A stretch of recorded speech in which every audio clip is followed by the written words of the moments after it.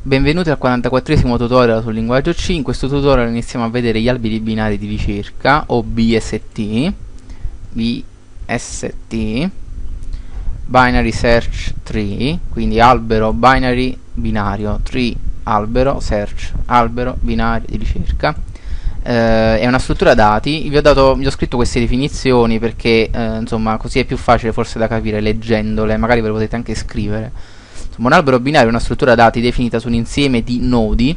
Abbiamo visto i nodi già nelle liste, no? Ogni, ehm, diciamo, c'erano questi nodi dove all'interno c'era l'elemento, quindi il valore dell'elemento che volevamo trovare, l'info, il t-info, e poi nell'altra parte c'era il puntatore al nodo successivo.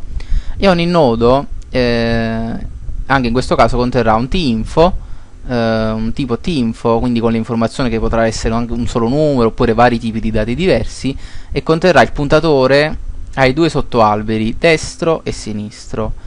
Eh, comunque un albero binario è una struttura dati che può contenere nessun nodo, quindi un albero binario vuoto, oppure contiene un nodo radice, come vi stavo dicendo, che ha come figli, il nodo radice è chiamato padre, e ha come figli due alberi binari, sottoalbero destro e sinistro. Un nodo viene chiamato radice se non ha archi entranti ed è foglia se non ha archi uscenti. Eh, capirete che il primo elemento è la radice perché non ha archi entranti e elementi che non hanno sottoalberi sono chiamati eh, elementi foglia, semplicemente. Chi non ha un sottoalbero è un uh, sottoalberi è, è chiamato foglia. Queste comunque sono solo definizioni. L'altezza invece di un albero binario è la profondità massima a cui si trovano i nodi foglie dell'albero quindi immaginate che abbiamo un elemento, cerco di farvelo con uno schema visivo, questo è il primo elemento, poi abbiamo due sottoalberi, destro e sinistro,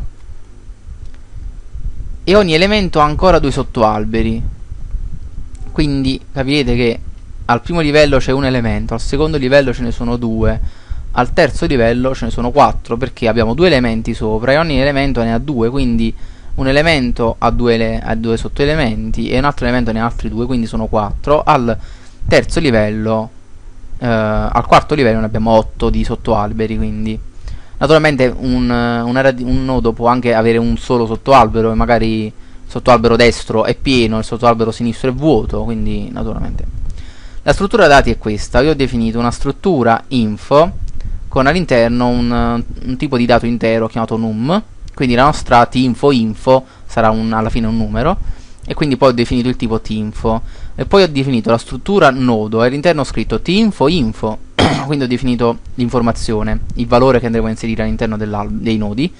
E poi il puntatore al destro e al sinistro. Quindi sotto albero destro sotto albero sinistro.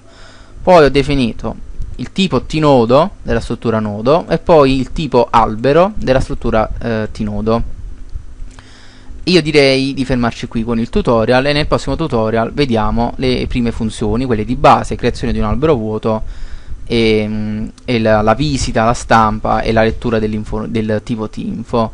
Come vedete sono passati 3 minuti e mezzo, scrivendo invece in diretta diciamo ci avrei messo il, il doppio sicuramente. Sperando che sia tutto chiaro fatemi sapere, lasciatemi un feedback e mm, ci vediamo al tutorial numero 45.